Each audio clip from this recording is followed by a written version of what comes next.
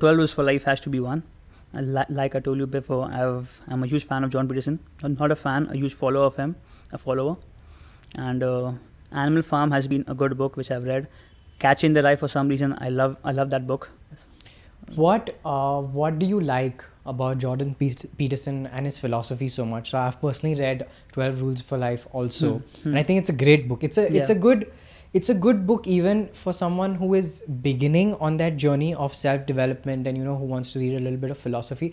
But at the same time, even for people who are well versed with philosophy, Mhm. I think it's a good it's a good refresher. Mhm. But personally, what are your key takeaways or what do you like the most from Jordan Peterson's 12 Rules for Life? Mm, to be honest, uh, the reason I, I like Jordan Peterson because he, the way he puts to, to, uh, get together things, things like philosophy, backing it up with science, a lot of history, and uh, a lot of things he has learned in his clinical practice, and uh, and just matlab, bringing it all down together, especially his his lectures. If, you watch his lectures, like two to three hours lectures, the way he goes around, matlab, matlab, the way he takes us, it's like almost a journey. Matlab, it's like an adventure. Yeah, He's a he's a very good Yeah, orator. well, It's fine. yeah, yeah. He Yeah. speaks really well. He's so and I think what you're trying to convey is that he has a very holistic approach. mhm. It's not that just when he's talking about psychology, he's only talking about psychology. Yeah.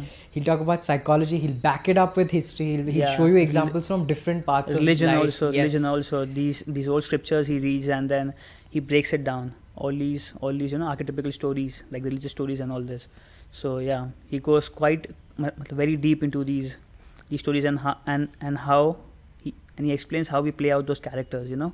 So yeah